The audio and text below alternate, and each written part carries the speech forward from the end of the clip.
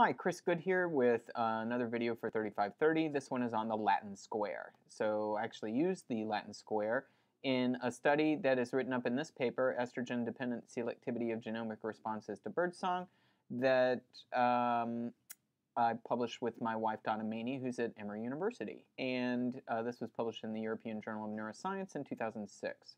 We used the Latin square because what we were doing in the study is we wanted to play back male uh, white-throated sparrow birdsong to female white-throated sparrow songbirds.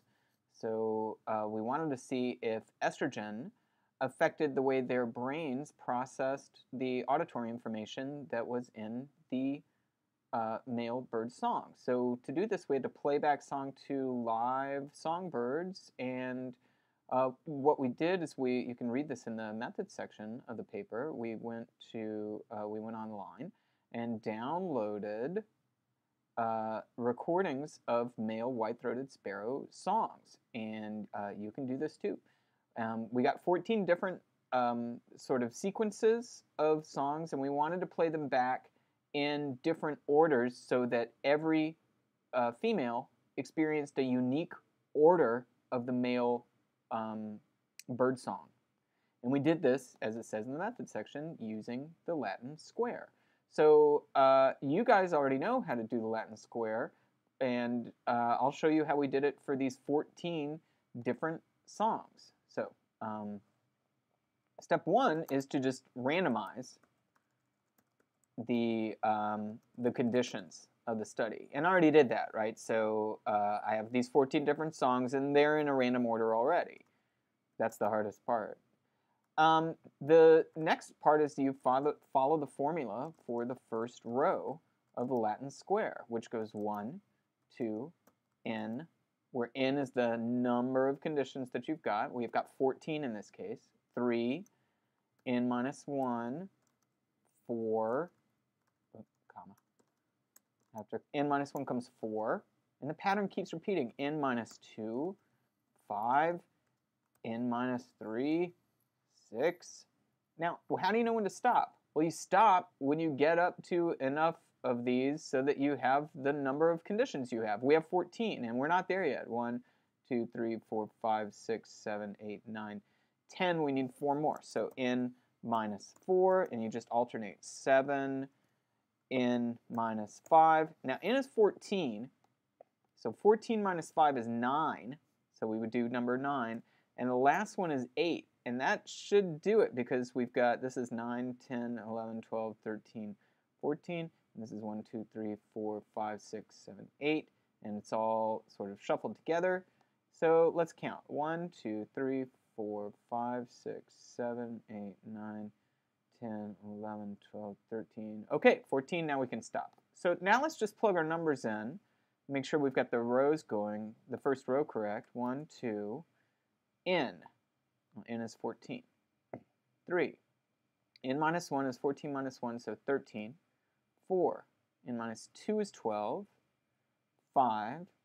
n minus 3 is 14 minus 3 is 11. 6.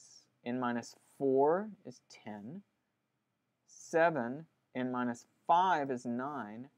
8. And I'm done. That should be 14. Can we count? 1, 2, 3, 4, 5, 6, 7, 8, 9, 10, 11, 12, 13, 14. Okay, so for each successive row, just add 1 to each column